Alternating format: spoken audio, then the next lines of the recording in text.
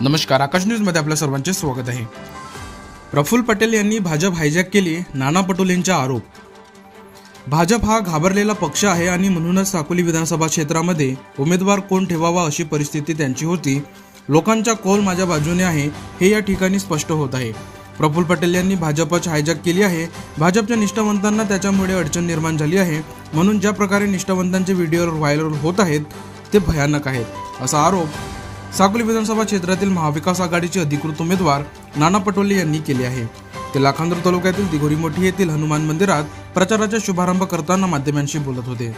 आज दिनांक पाच नोव्हेंबर रोजी नाना पटोले यांनी आपल्या प्रचाराचा शुभारंभ लाखांदूर तालुक्यातील दिघोरी मोठी येथे केले. या प्रसंगी येथील जागृत हनुमान मंदिरात पूजा अर्चा करून प्रचाराचा नारळ फोडला.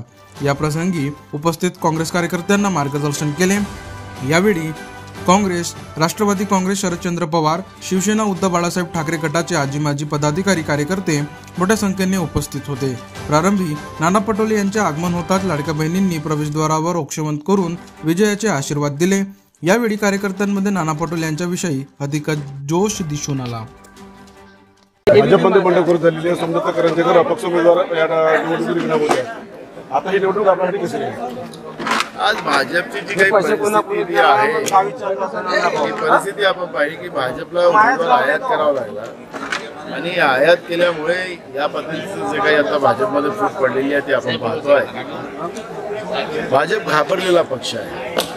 या साकोली विधानसभेत उमेदवार कोण ठेवावा अशी परिस्थिती त्यांची होती.